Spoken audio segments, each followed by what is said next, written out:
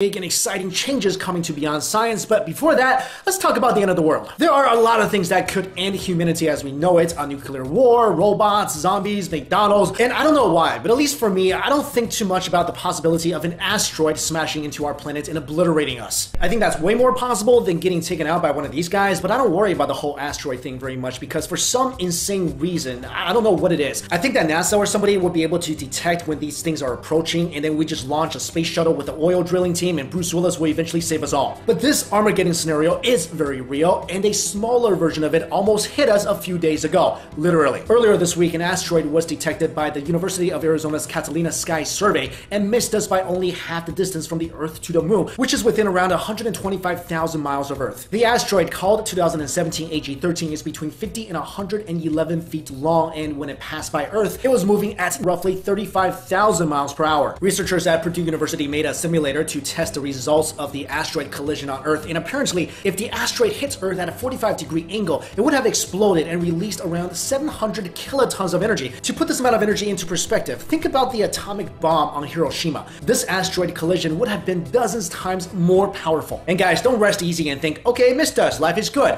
According to NASA's Near Earth Object Program, there are more than 38 asteroid approaches estimated in January alone. And I get it, this was a smaller asteroid, it would not have killed us all, but let's talk about what happens if we do detect a planet killer rock hurtling towards us? Well, our government has a plan, sort of. On December 30th, 2016, the US government released a 25 page long document called the Near Earth Object Preparedness Strategy. And this document basically outlines the plans in the event that a huge asteroid really does collide with Earth. This plan includes things like detection methods, deflection strategies, and emergency procedures.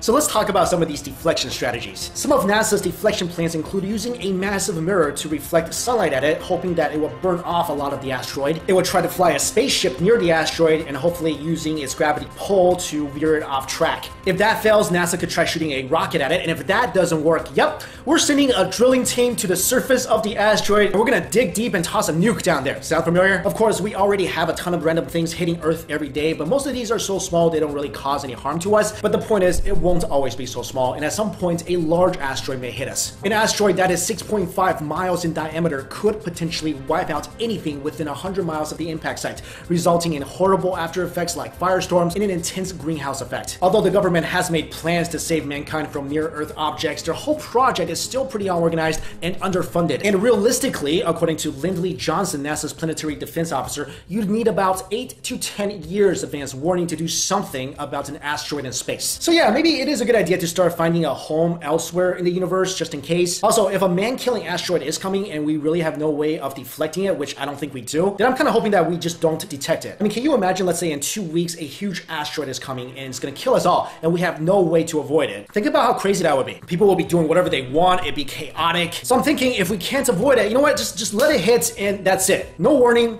boom. But let me know what you guys think. Do you really feel like we have the necessary means to deflect a huge asteroid if it's coming towards Earth? Also, let me know if you agree with me. If it is coming, if a huge man-killer asteroid is coming, and we have no way to stop it, do you even want to know? Also, guys, I've got something else I'm really excited to talk about. As you know, I cover a lot of topics and sometimes I can't go into details too much because I don't want to make these videos overly long. And as much as I want to, YouTube stats are pretty clear that most people, um, they don't want to watch videos that are more than 10 minutes. But I have found a way to dive into the materials much more deeper, giving you guys the fuller scope and really digging into the most interesting topics that we love. Not just asking the big questions, but answering them as well. And this could happen by getting a whole team of researchers working on this stuff. So at Beyond Science, we now have a team of 12 people working on a Beyond Science magazine. They're checking sources, gathering more info, details, and research, and putting it all together. You'll be able to read it offline on your iPad or smartphone anywhere you want, and lie at Starbucks or in the bathroom at Starbucks. This magazine is one of the most ambitious projects we've ever taken here at Beyond Science. It is the first digital magazine to investigate and report things that science really can't explain. And the larger it becomes, the more journalists we can hire to investigate and study with an open mind all the crazy things we talk about on this channel. Our vision is to build a community of open-minded people asking big questions and therefore pushing humanity forward. So because of that, I have a 30 second favor to ask you guys. I have a link in the description box below, and this will take you to a site called Thunderclap, where you can help us turn that vision into a reality. It takes less than a minute, and it will really help me spread the word on this. So thank you guys so much. I'm really excited about this. Thank you for watching this video.